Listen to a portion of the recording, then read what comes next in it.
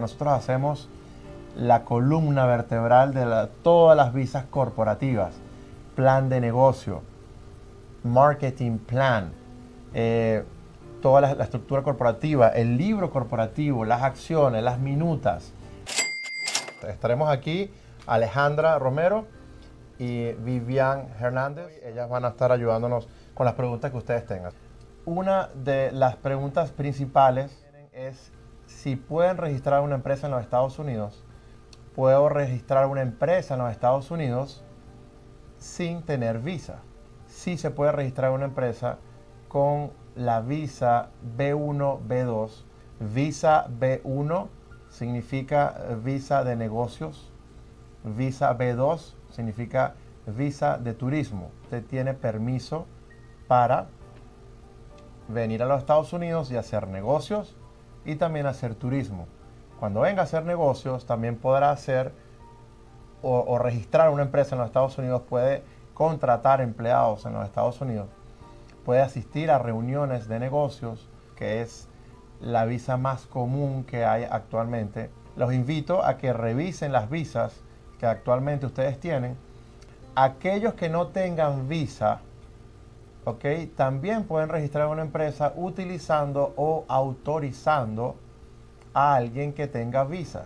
El tema importante de la visa es que, hay que tenemos tener visa para poder abrir las cuentas bancarias no hace falta tener un socio que sea americano o un socio que sea residente. Usted puede ser socio único o dueño único, perdón, de la empresa. Este mensaje va dirigido no tan solo a los que son dueños de empresas, a los que son inversionistas, sino a esta era que tenemos ahora de emprendedores. Quisiera saber si puedo registrar una empresa en los Estados Unidos que sea una organización sin fines de lucro. Y la respuesta es sí. Nosotros eh, registramos también fundaciones. Es un, es un proceso eh, sencillo, no es nada del otro mundo.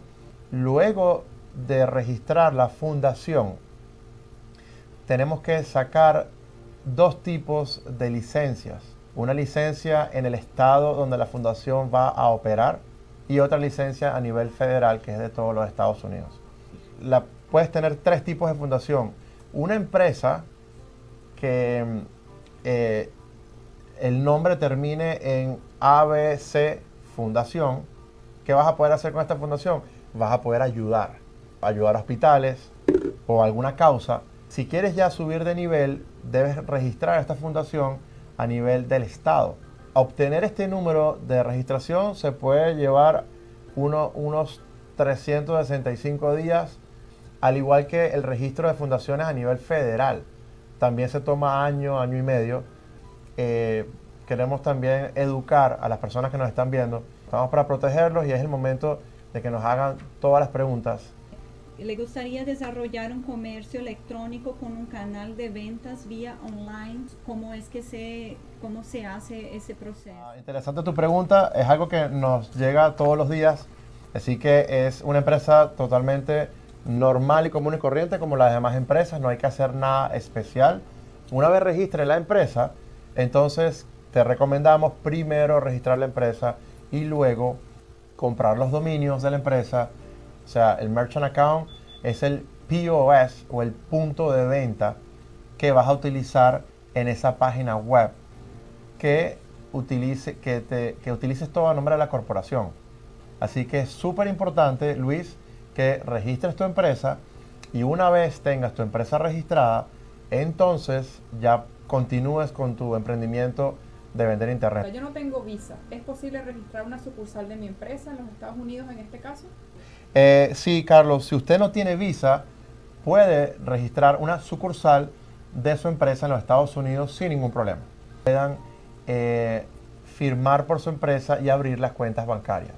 Pero usted puede ser el dueño 100% de esa sucursal. Personas que quieren hacer sucursales, a veces no es necesario llamarla o nombrarla sucursal, porque a veces se complica el tema de los impuestos. Cuando haces una empresa totalmente independiente, pero que no están unidas, entonces ya no tienes que rendirle cuentas de impuestos de un país a otro y tienes que estudiarte todos los tratados. Uno de los motivos de este seminario es que solamente las personas que estén en el seminario las, las vamos a poder atender gratuitamente después de manera individual. Ahora, algo muy importante, ¿qué tipo de empresa debo registrar en los Estados Unidos? En los Estados Unidos hay prácticamente dos tipos de empresas. Algo que, que quiero dejar bien claro es que ambas empresas son buenas. La diferencia está en que una empresa sirve para un tipo de negocios y la otra para otro tipo de negocios. Siempre que ustedes hablen con un profesional y este profesional primero no analice su perfil y no identifique a qué se va a dedicar usted, qué tipo de pasaporte tiene, qué producto va a vender, va a ofrecer servicios, qué es lo que usted está haciendo. Por eso eh, eh, hacemos estos, estos seminarios y siempre hacemos hincapié en que nos hagan todas las preguntas de la diferencia entre las empresas y lo voy a hacer sencillo. Las LLC deberían usarse para proteger patrimonios, para proteger propiedades. Si usted está registrando una empresa, como nuestro amigo Luis de North Carolina, que quiere vender en Internet, lo más seguro es que le vayamos a, recomendar que haga una empresa Inc. o una Corp. Pero yo no puedo decir qué empresa es buena para el señor Luis y qué empresa es buena para la señora Carmen si yo no me siento con ellos y les hago varias preguntas. Si en este momento ustedes ven a alguien que les dice en tres minutos y medio tienes que hacer una corp, saca corriendo porque eso está peligroso. ¿Puedo constituir una empresa en Estados Unidos solo para convertirla en una empresa exportadora? No hay que hacer ninguna eh, licencia especial para poder exportar productos. Después del 911, las licencias para poder exportar solamente las tienen los dueños de los aviones, los dueños de los barcos, las cargueras. Entonces, ¿qué vas a hacer tú? Tú vas a tener una empresa que comúnmente se le llaman couriers, donde vas a, recibir la carga que te van a traer para exportar y a ISNET lo que le van a pedir son los permisos dependiendo del producto que vayas a traer a los Estados Unidos. Es muy fácil poder eh, entrar tu producto, poder enviar tu producto a los Estados Unidos y hay muchas ayudas. Un 80% de los productos que si vamos a, las palabras técnicas se llaman códigos arancelarios. No tienen impuestos para entrar a los Estados Unidos. Siempre esto depende de qué país venga. Código arancelario significa que este teléfono que está acá tiene un código arancelario único. La carguera que le recibe en Estados Unidos le puede decir a usted si el código arancelario de este teléfono paga o no paga impuesto en los Estados Unidos. Así que ojo con el tema del código arancelario, es algo totalmente universal si una persona que tiene una vida de estudiante puede registrar una empresa en Estados Unidos? Esa es una pregunta que yo le voy a decir a usted. Nosotros no somos eh, una firma de abogados y yo le recomiendo que para este tema eh, usted se refiera al abogado que le hizo la visa de estudiante. Trabajamos con más de 25 firmas de abogados en todos los Estados Unidos. Somos eh, lawyer friendly, Así que eh, a ellos les gusta trabajar con nosotros y nosotros con ellos. Somos una firma de consultoría de negocios internacionales. Algo nunca antes visto. Somos muy originales. ¿Es necesario un monto inicial de inversión para registrar una empresa? Em, no es necesario un capital. Recuerda que cuando le coloques el capital no lo vas a poder sacar, no lo vas a poder recuperar. Aquí no. Aquí tú puedes registrar una empresa y nadie te va a pedir el capital. No te lo va a pedir el Departamento de Estado no te lo va a pedir el, IRS federal y tampoco te lo va a pedir la entidad financiera. Esto es algo muy común en los países latinos, también europeos. Pregunta si es necesario tener un seguro al momento de registrar una empresa o una fianza. Depende del tipo de empresa que vayas a registrar o el objeto comercial de la empresa. ¿Qué objeto comercial le puedo colocar a mi empresa? El objeto comercial puede ser any lawful business, cualquier negocio lícito. Si el señor Ibrahim quiere montar, por ejemplo, una clínica, entonces sí vas a necesitar, a, necesitar licencias especiales. Quiere vender por internet productos, tal vez no, no necesites licencias especiales. Su pregunta es, si él viaja a Estados Unidos con una visa B1, B2, al momento de ingresar a Estados Unidos y inmigración le pregunte eh, a qué viene, si es más conveniente decir que es una reunión de negocios para el registro de empresas o si es más conveniente decir que es turismo. Al entrar a los Estados Unidos tiene que decir la verdad. La pregunta que le hace el oficial es a qué viene usted a los Estados Unidos según su visa. Por eso es importantísimo identificar qué visa tengo yo. B1, B2. O viene a hacer negocios o viene a hacer turismo. Lo que yo le puedo decir es que pierdan el miedo de responder que vienen a hacer negocios, porque usted tiene permiso para hacer negocios. No la he visto todavía. Ciertos países o ciertos ciudadanos tienen un solo tipo de visa, o B1 y a otros B2. Si usted tiene nada más B1, quiere decir que lo único que está autorizado a hacer es negocios en los Estados Unidos y si tiene B2, entonces está autorizado a hacer turismo. Personas que tienen visas B1, B2 no tienen permiso para trabajar en los Estados Unidos. Hacer negocios en los Estados Unidos puede ser una reunión de negocios, registrar tu empresa, contratar empleados. Otra cosa es trabajar. Usted no tiene permiso para trabajar en los Estados Unidos porque nosotros hacemos la columna vertebral de todas las visas corporativas, plan de negocio, marketing plan, eh, toda la, estructura corporativa, el libro corporativo, las acciones, las minutas, eh, eh, acuerdo operacional de la empresa. Hay tres maneras de hacer las visas en los Estados Unidos. Una, usted escoge un abogado para que ese abogado le haga la visa. Dos, usted escoge a un tercero o a una agencia como la nuestra. Y tercero, el expediente de visa lo puede hacer usted mismo. Nosotros conocimos un cliente de Argentina que hizo su caso de visa por YouTube. Él se metió en YouTube y armó su caso. Ahora, ¿en qué estado registro? Y cada estado tiene su Department of State, o sea, su departamento de estado. Los registros de empresa los voy a dividir ahora en dos partes. Primero se debe registrar en el departamento de estado. Entonces, si usted decide registrar en el estado de Texas, lo primero que hay que hacer es registrar la empresa en el Texas Department of State. Vamos a necesitar una dirección en Texas. Si usted no tiene a nadie en Texas, entérese que nosotros tenemos gente en los 50 estados. Así que a través de Martorell Office usted puede registrar en Texas. Estamos para explicarle la diferencia entre cada estado. Hay diferencias de leyes, diferencias de impuestos, pero recomiendo que pregunten. Pregunten primero y para eso estamos nosotros. Tengo una empresa que ha funcionado aquí en Panamá por 10 años me gustaría comenzar un branch allá en Estados Unidos y poder optar una visa para emigrar. ¿Esto nos permite emigrar?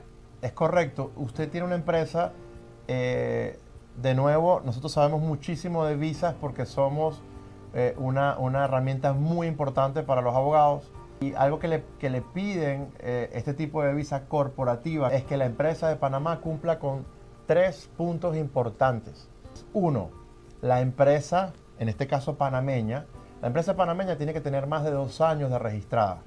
Segundo, la empresa panameña tiene que tener mínimo, mínimo 10 empleados. Y tercero, que la persona que esté interesada en venir a los Estados Unidos con esa visa tenga una, eh, eh, eh, tenga una antigüedad en la nómina de la empresa de por lo menos 12 meses en los últimos tres años. De nuevo, esto no es algo que se decide en el momento, tiene que hacer varias reuniones con los abogados de migración o si no quiere lidiar con los abogados de migración, nosotros lo hacemos y utilizamos a los abogados que son nuestros aliados. Él ah, quiere saber quién es, qué tipo de licencias necesita para abrir una compañía de construcción en Estados Unidos. Primero, registrar una empresa, como se lo comenté anteriormente, normal y común y corriente. Incluso la empresa puede ser any lawful business, que es cualquier negocio lícito. Como usted se quiere dedicar a la construcción, Entonces necesitamos saber, primero, en qué condado y en qué ciudad y en qué estado usted quiere realizar esta construcción. Porque las licencias a nivel de construcción, al igual que otras, van, se dedican y se hacen y se tramitan según la ciudad, el condado y el estado. Usted tiene que hacer varios tipos de licencia para que usted pueda hacer lo que se llama aquí un GC, que significa General Contractor. Incluso hay General Contractors muy importantes, usted puede llegar a ser uno, que son General Contractors federales. Existen modalidades en los Estados Unidos que son totalmente legales y es el que usted pueda subcontratar y el que subcontrata a esta persona con licencia sería su empresa. ¿Qué pasa si al momento de registrar la empresa no la pongo operativa inmediatamente y debo declarar impuestos? ¿Cómo es el proceso? Eh, usted puede registrar una empresa y dejarla eh, en lo que le llamamos aquí en hold o en standby. Esta empresa puede tener incluso em, eh, cuenta bancaria. ¿Qué hay que hacer? Hay que hacer las declaraciones de impuestos todos los años y hay que renovar esta empresa. No tenga miedo señor Fajardo, de que le vayan a cerrar la empresa por falta de movimiento o porque no contrató empleados. Nosotros no inscribimos a los clientes en el departamento de labor hasta que el cliente esté listo para contratar. Y tiene una pregunta, él quiere abrir una compañía de medicina alternativa donde se ofrezcan servicios de acupuntura, terapia física y etcétera. Él quiere saber si este tipo de empresa eh, genera pasos adicionales de permisos para registrarla y cuáles serían los pasos. Necesitamos saber en qué ciudad, en qué condado en qué estado usted va a operar. Incluso en su caso, nos hace falta saber la dirección exacta con el código postal, número de suite y toda la información que usted va a tener. Porque entonces cuando tengamos la información exacta de dónde va a estar su empresa, entonces nuestro departamento de permisos, él va a comunicarse directamente con la ciudad donde su empresa va a estar o su oficina o su consultorio y le vamos a consultar a ellos eh, qué tipo de permiso necesita usted para estar en esa, en esa dirección. Es que no alquile el local hasta que nosotros averigüemos si lo que usted va a hacer se puede hacer ahí o no. Recomendamos primero que usted ubique las direcciones donde usted le gustaría colocar su negocio. Le digo algo, si no es una medicina que sea algo invasivo, que tenga cirugía o, que sea invasivo, eh, los permisos son más sencillos. ¿Hay requisitos eh, indispensables que cambian por estado para registrar una empresa y costos que cambian por estado? Costos son los mismos eh, y los requisitos exactamente los mismos todos los estados piden pasaporte válido, nombre de la empresa, eh, objeto que, usted va a tener. Nos falta gran parte del registro de empresa, luego les quiero, les quiero hablar qué hacer con la empresa, cómo manejarla, eh, beneficios que puede tener el tener una empresa en los Estados Unidos. Algo muy importante es las cuentas bancarias. A ver quién sabe lo que significa NRA.